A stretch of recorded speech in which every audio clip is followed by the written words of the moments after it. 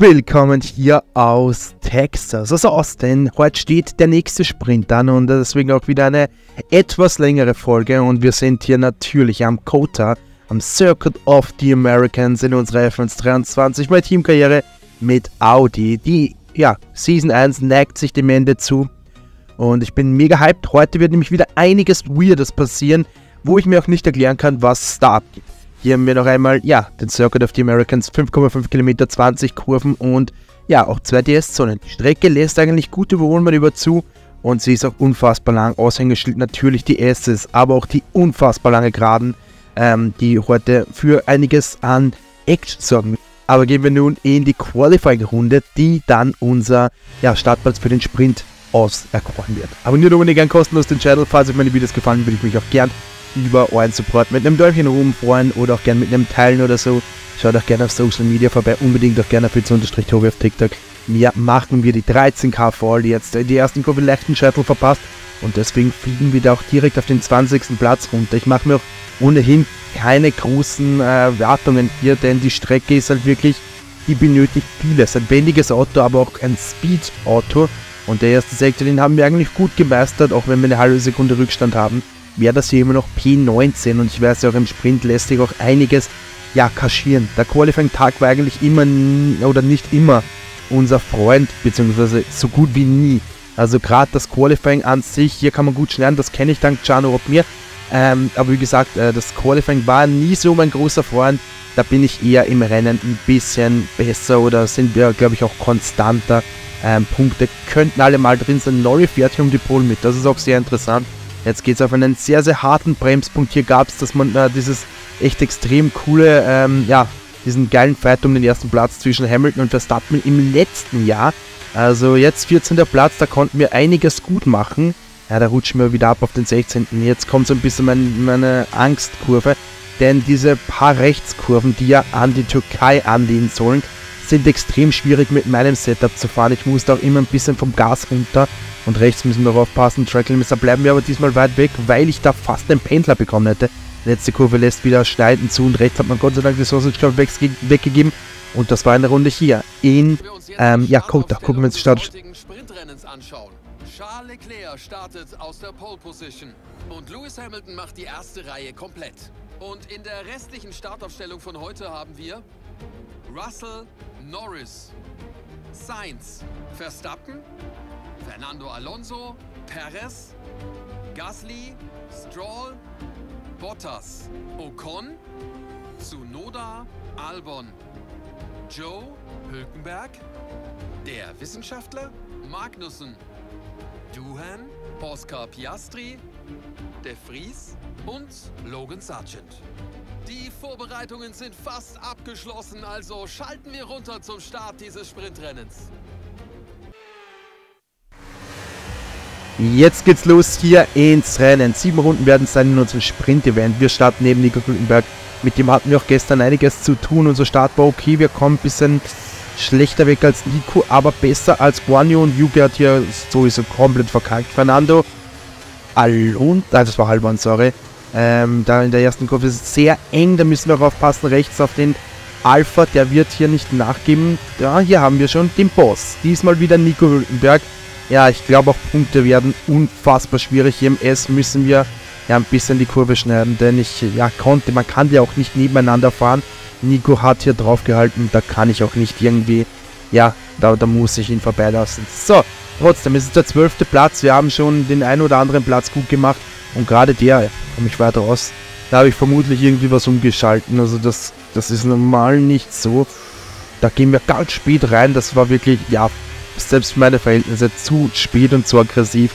Aber ja, man probiert natürlich im Sprint alles, was geht, um das bestmögliche, ja, den bestmöglichen Startplatz rauszuholen. Im Windschatten können wir auch hier unseren Lauren, äh, äh, Lance Stroll dran arbeiten.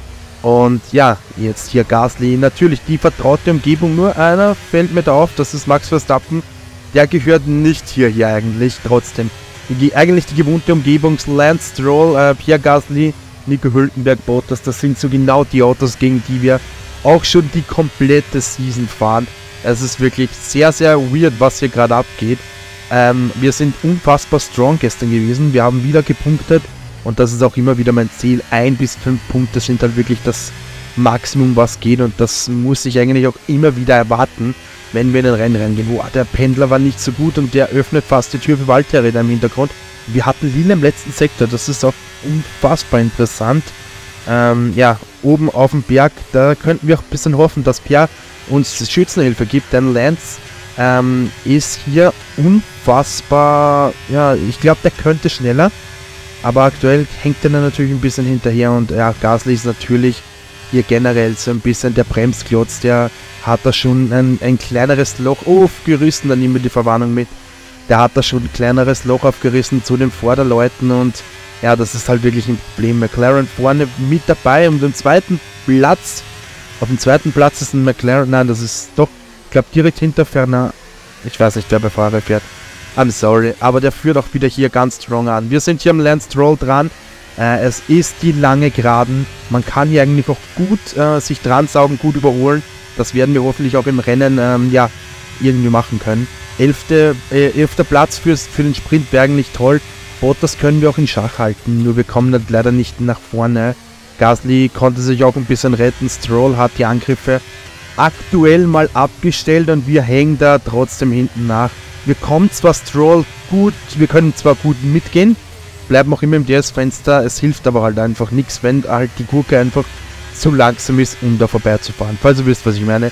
Es ist einfach so, ich kann da nichts machen. Wir sind ja ähm, ja, in diesen Estes verliere ich halt immer ein bisschen Zeit, weil ich eben so ein aggressives Setup habe und aufpassen muss. Da fliegen wir fast aus dem DS-Fenster raus, die haben wir aber noch mitgenommen.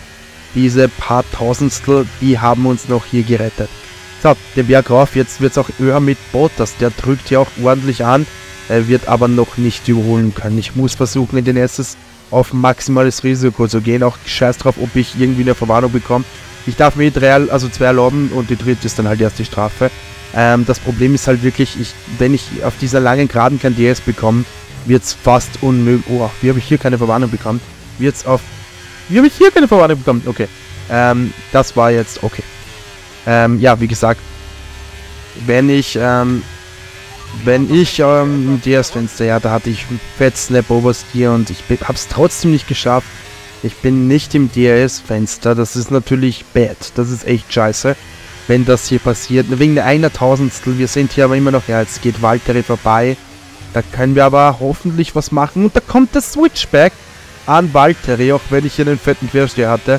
Er hat ja funktioniert. Ein bisschen Platz zum Atmen, aber nur nicht zu viel, sonst fühlt er sich da gleich wieder frei. Da übernehmen wir wieder den siebten Platz. Ah, den elften Platz in der siebten Runde. Das ist die letzte Runde ja, die vor mir sind eh weg, da hätte ich so und so keine Chance gehabt. Trotzdem, das war noch ordentlich, hier konnten wir da ankommen und ich glaube, Stroll wagt jetzt hier den Endfight-Angriff äh, gegen, ähm, ja, und hier sticht Bottas nochmal durch und auch, äh, ja, Nico Hülkenberg, das ist natürlich die lange Geraden.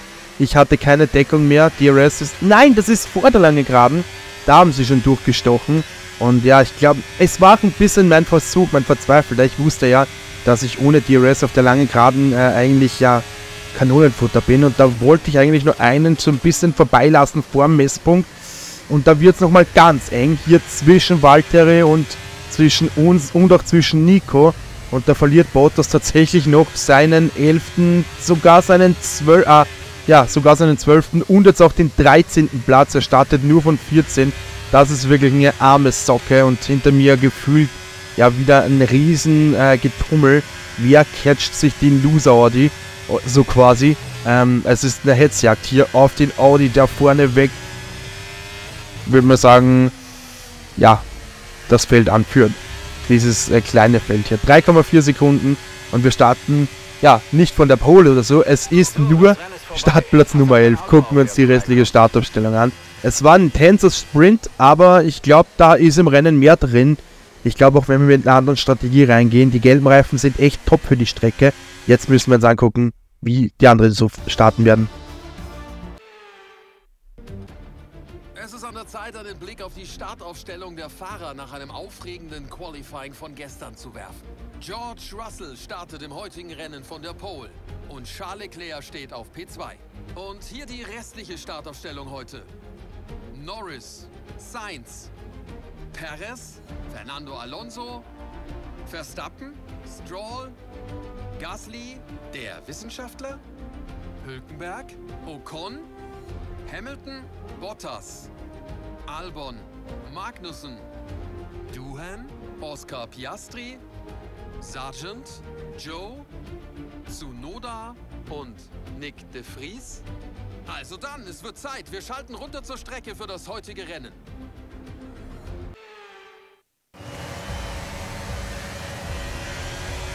Radala, wir sind hier in der Startposition. Los geht's hier, Kota, ähm, unsere F123 Karriere. Verstappen hatte den grottigen Start. Wir kommen hier ein bisschen besser den Berg rauf. Und da wird's ganz eng mit, ja, Fernando Alonso. Und jetzt rechts sticht da Lance Stroll vorbei. Und ganz rechts Landon Norris. Das war echt eine holprige erste Kurve. Und der Lance Stroll ist unfassbar übermotiviert. Da wird auf jeden Fall, ja, der wird sich nicht lang Zeit lassen für einen ähm, Angriff, für ein Manöver hier gegen uns. Lando Norris hier auch mit einem unfassbar schnellen Paket auf dieser Strecke. Die sind wirklich unfassbar, wirklich. Oh, hier wieder Pendler, wieder Pendler. Ja, und hier wollte ich ein bisschen zu früh oder zu spät abdecken. Hab dann einfach gar nicht geachtet und dann passiert's hier. Das ist hundertprozentig meine Schuld, aber ich kann da jetzt auch nichts machen. Ich wollte hier unbedingt abdecken und wollte halt wirklich Lance hinten lassen. Und ich wusste natürlich auch, wenn der vorbeigeht, dann, dann probieren es gleich zwei, drei weitere. Gucken wir uns das Ganze nochmal an. Der Start in der Replay, der war eigentlich okay. Turn 1 war ein bisschen verpackt, also da war ein bisschen, äh, da war ein bisschen der Hund drin. Aber auch hier der McLaren, ich glaube, das war Nori. Der, oh nein, es muss Fernando gewesen sein, der ist gestanden beim Start hier. Also hier gehen wir dann nebeneinander mit Lance Stroll und dann auch. Nein, es war Nori, es war Norris ähm, gehen wir hier dann rein und ja, und da gehe ich ein bisschen weit. Eben weil ich mir dachte, die sind hier zu dritt oder wir sind zu dritt, das geht sich nicht aus. Dann hier runter, da wollte ich abdecken. Auch wenn es hier wirklich ähm, ganz knapp ausgesehen hat. Vom Rückspiegel aus habe ich nicht gewusst, dass das wirklich, dass sich das nicht ausgehen wird. Also ich hätte da wirklich einmal zurückblicken sollen. Hat natürlich jetzt eher nur mir was gekostet. Wir sind hier rote Flagge obwohl alle on Grid sind, ist es sogar Lance Stroll hier. Hier gab es anscheinend einen Stau. Guckt euch das mal an, wie langsam wir alle sind. Was ist hier los? Was? Rote Flagge ist natürlich jetzt nicht gut. Das ist gar nicht gut, denn wir können hier gar nichts mit der Strategie machen. Wir starten jetzt hier vom 20. Platz aus. Und ja, los geht's hier. Oh mein Gott, Guan Yu hatte unfassbaren Wheelspin. Safety Car. Das ist so ein Drecksbug in dem Spiel. Also ich weiß nicht genau, ich bin schon so abgefuckt. Es ist wirklich ein Wahnsinn. Piastri eine 5-Sekunden-Strafe. Warum Piastri? Warum denn Piastri? Warum? Ähm, ich habe keine Ahnung. Warum jetzt schon wieder Safety Car ist? Ich weiß es nicht. Fernando ist anscheinend vorher ausgeschieden. Das würde auch die rote Flagge erklären. Warum jetzt wieder Safety Car ist, ich weiß nicht. Es war in Kanada so bei unserer ersten roten Flagge, dass da direkt danach Safety Car kam beim Restart. Ich bin mir ehrlich gesagt nicht sicher, warum dieser Bug jetzt da ist. Es ist natürlich alles irgendwie gegen uns, denn ich dachte mir so, die gelben Reifen halten nie im Leben bis zum Schluss aus. Nehme ich die weißen. Jetzt kommt der Safety Car wieder für ein, zwei Runden.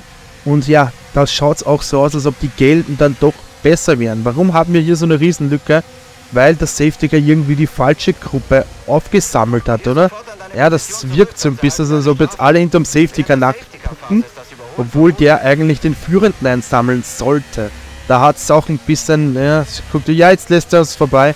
Und jetzt ist auch schon wieder Restart-Time. Ich habe euch das ganze Dilemma erspart. Wir kommen hier unfassbar mit einem Schwung aus der letzten Kurve raus. Und ich habe auch nichts zum Verlieren, for real. Also ich wollte hier einfach wirklich, ähm, jetzt sind wir einfach, ja, wir sind der einsame Wolf. Wir haben hier nichts zu verlieren. Jetzt gehen wir an dem vorbei, der uns ja quasi das Rennen zerstört hat. Aber es ist natürlich meine Schuld. Also ich, wir hätten beide aufpassen können, aber er konnte nicht rechnen, dass ich da die, die Tür zumache. Wir sind hier auf den weißen Reifen unterwegs und können hoffentlich bis zum Ende mit diesem Satz auch durchfahren. Sie schreiben hier trotzdem Runde 12 bis 20 an, aber jetzt geht unsere Aufholjagd hoffentlich los gegen die Hinterwäldler Teams hier. Also eigentlich sind wir ja auch ein Hinterwäldler Team und ich würde auch gern öfters da hinten starten. Beim Qualifying sind wir halt dann doch öfters zu stark hier gehen wir jetzt an Guan Yu Zhou vorbei und im Windschatten saugen wir uns hier an Logan dran und an den gehen wir auch vorbei, denn er ist auch auf den weißen Reifen. Das ist auch so eine Chano Okmir Kurve, wo er gesagt hat, man kann da richtig cutten, ohne dass die KI das merkt. Piastri, warum der eine 5 Sekunden Strafe hat, ich weiß es nicht. vermutlich während dem Safety Car oder so, da gab es ja auch einige Strafen. Äh, ich glaube auch ähm, Lance Stroll hat eine Strafe bekommen und wie der vor mir gestartet ist, ich weiß es nicht, Leute. Ich habe keine Ahnung, aber der hat anscheinend so einen guten Restart. Ich weiß nicht. Wie ist das möglich? Wie gesagt, gab ja direkt Red Flag danach. Also ich weiß es echt nicht. Walter jetzt im Windschatten. Saugen wir uns hier A den Finnen dran. Und dann gehen wir hier vorbei. Da gibt uns auch noch Yuki den restlichen Windschatten. Äh, bremse ich ein bisschen früher, weil ich eben nicht an Yuki hier dran klatschen will. Ähm, und ja, das ist jetzt P16. Alles ist Schadensbegrenzung hier. Aber wenn man sich aus so einem Rennen eigentlich keine großen Hoffnungen mehr macht, könnte mehr passieren, als man erwartet. Und so könnte es wirklich vielleicht passieren. Ja, ich, ich, die weißen Reifen sind echt kacke.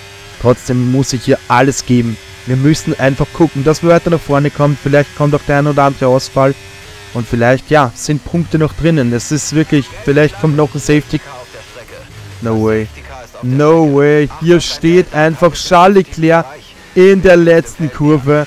Es ist die zweite Safety-Car-Phase dieses 35% Rennens. Ich weiß einfach nicht, was ich mehr sagen soll.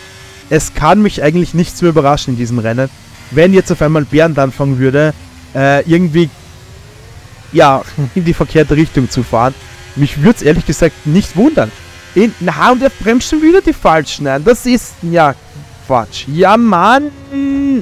Da bleiben wir alle fast stehen und ja, Gott sei Dank gab es da keine 5 Sekunden Strafe.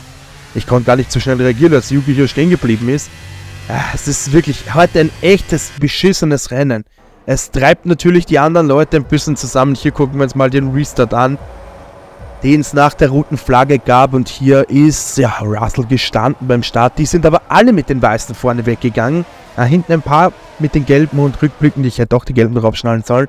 Nur wie hätte ich wissen sollen, dass ähm, dieses Rennen so verrückt werden wird? Ich weiß es nicht. Ja, da bin ich zwar an manchen vorbeigegangen, musste aber alle wieder vorbeilassen. Ich habe auch geglaubt, das ist ein Joke oder so, vielleicht nur gelbe Flagge. Aber ja, es war wirklich wieder eine Safety-Car-Phase. Und dann hier gucken wir uns dann auch unbedingt an, warum es hier wieder ein Safety-Car gab. Das ist eine interessante Sache. Denn hier in der letzten Kurve sehen wir dann auch den Grund für die erneute Safety-Car-Phase. Und die ist jetzt hier. Hier in der letzten Kurve sehen wir dann den Grund für die erneute Safety-Car-Phase. Ein geghosteter, weggedrehter Charles Leclerc. Ob er noch starten kann, ich weiß es nicht. Ähm, Fakt ist, sie haben ihn jetzt weggebracht. Er ist wieder weggefahren. Ähm, das ist gut. Und wir gehen hier jetzt wieder rein. Unser Restart. Bombastisch, Leute. Bombastisch. Im Windschatten gehen wir hier einmal rechts, einmal links und jetzt wieder rechts vorbei. Also wir haben nicht mehr gekreuzt und übernehmen hier den 14. Platz. Es wären nur vier Leute, die wir holen müssten, um dann doch noch heute diesen einen wertvollen Zähler zu holen. Und auch Oscar ist ganz nah dran mit diesen ganzen Unterbrechungen, ist er wirklich ganz gut klargekommen. Piastri einfach hier strong, wirklich sehr, sehr genial. Mir, mir gefällt der, dieser Wille, dieser Enthusiasmus und vor ihm mein alter Teamkollege, der die erste Hälfte fahren durfte, Jack Doohan, äh, der Alpine Junior, äh, fährt jetzt bei Williams. Das ist auch interessant, aber auch possible. Wir kommen hier gut runter und im Windschatten. Ich hoffe natürlich, dass uns Piastri jetzt nicht den großen Ärger machen wird. Ähm, er ist zwar mit den gelben Reifen unterwegs, hat aber auch eine 5 Sekunden Strafe, was ihn, glaube ich, wenn nicht viel passieren wird, weit nach hinten katapultieren wird. Jetzt hier im Windschatten mit Jack Dohan, da können wir... Ja, und der verbremst sich hier und fährt uns ins Auto rein. Ja, das ist natürlich ganz bitter. Das ist wirklich scheiße gelaufen.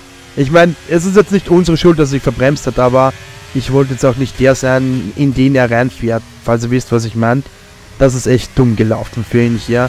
Äh, trotzdem immer noch auf einen strongen 14. Platz. Wie gesagt, es wird halt schwierig mit der 5 Sekunden Strafe.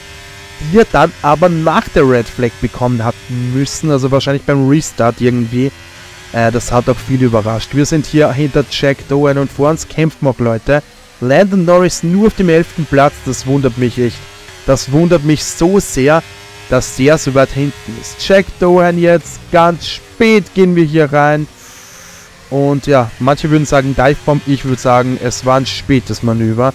Und Lando kämpft hier gegen Kevin Magnussen, der auch eine 5 Sekunden Strafe hat. Ja, das ist natürlich jetzt bitter. Das ist echt scheiße für ihn.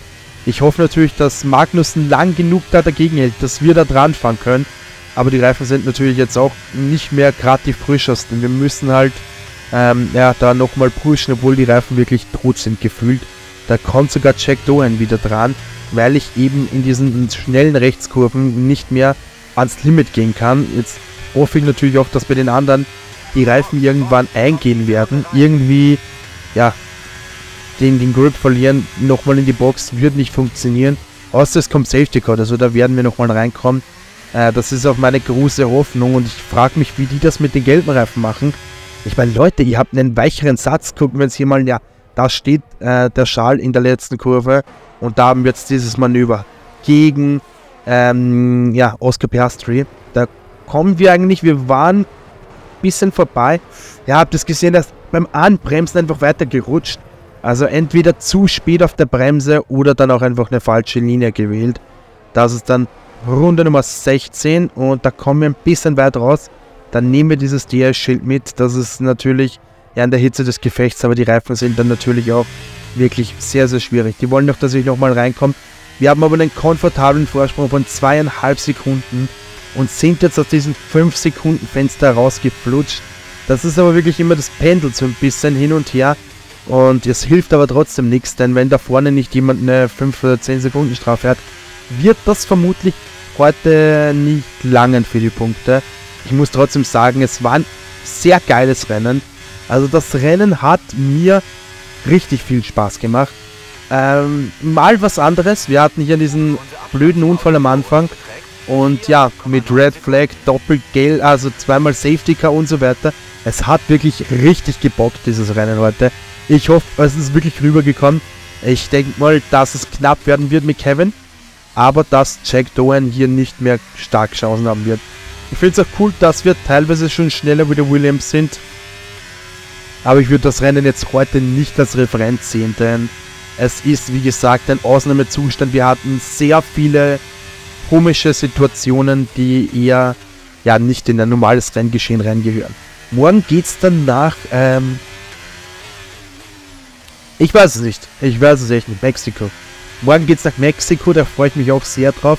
Habe aber auch ein bisschen Schiss, weil ich glaube, dass wir auf der langen Geraden richtig abgezogen werden. Müssen wir uns auch mal angucken. Ich bin sehr gespannt. Abonniert dafür unbedingt gerne. Wir sind hier noch einmal in meinem Hasssektor. Dafür nehmen wir auch immer ein bisschen Zeit zum Vordermann, äh, zum Hintermann. Generell zum Vordermann. Da wir, ja, da haben wir jetzt wieder zwei Zehntel gut gemacht.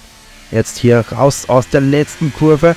Und ja, dann noch einmal die lange Start- und Zielgeraden hoch diesen langen und steilen Berg. Und da vorne biegt gerade Kevin Magnussen in die Kurve ein. Ich glaube auch die Gelben lassen allmählich nach. Trotzdem weiß ich nicht genau, wie die das geschafft haben. Die sind da 17, 16, 17 Runden mit einem gelben Satz gefahren. Diese Reifen hätten bei mir gefühlt 90% und ich müsste in jeder Kurve irgendwie ähm, vom Gas gehen, weil ich sonst irgendwie weggedreht werden würde. Jetzt hier noch einmal durch diesen letzten Fullspeed-Sektor 5022. Wir rutschen hier, das hat nochmal eine Zehntel gebracht, die letzte Kurve noch rettet. Rettet die noch. Halleluja, das habe ich nicht gesehen, aber ich glaube, es war wegen 5000 Stück. hervorragenden großen Preises der USA. Das Durchhalten hat sich bezahlt gemacht und hier zu einem unglaublichen Sieg geführt. Stefan Römer, was denkst du? Was hat heute den Unterschied gemacht? Ich denke, die Konstanz war heute der Schlüssel zum Erfolg. Schnell sein ist eine gute Sache, aber du musst eben Runde für Runde für Runde schnell sein. Wenn du das schaffst, kannst du von den Fehlern anderer Fahrer profitieren, falls du selber keine machst und so weit nach vorne ins Feld fahren.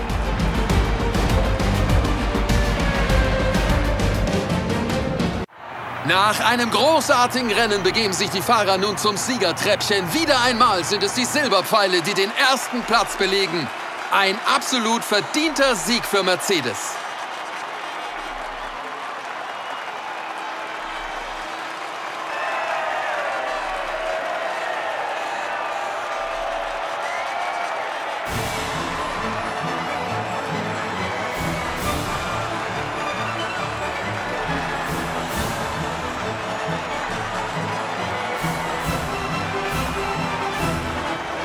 Und es ist sich tatsächlich ausgegangen, Leute. Wir haben es hier geschafft, vor Kevin Magnussen ja, ins Ziel zu kommen. Es ist halt blöd gelaufen. Ja, hier haben wir das Rennergebnis. Wir haben es geschafft. Und wie viel Zeit war das bitte? Das war, glaube ich, ganz, ganz wenig, oder? Es waren ein paar Tausendstel. Also 15, ähm, 6 und ja, 26 oder so. Also das war wirklich knapp.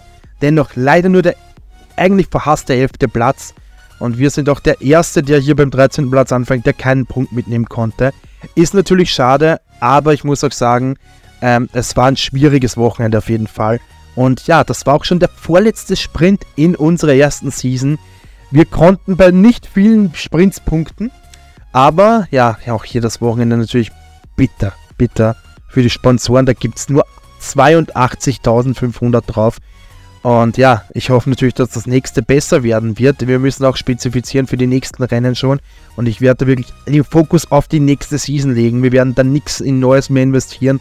Also schaut gerne auf itz-tobi auf TikTok vorbei. Macht die 13k voll. Das heutige Wort des Tages kommt dann nach dem ähm, Endblock hier. Mich würde es auch gerne freuen, falls ihr auf Social Media vorbeischauen würdet. Links mal und äh, abonniert gern kostenlos den Channel und lasst euch gerne einen Daumen oben da.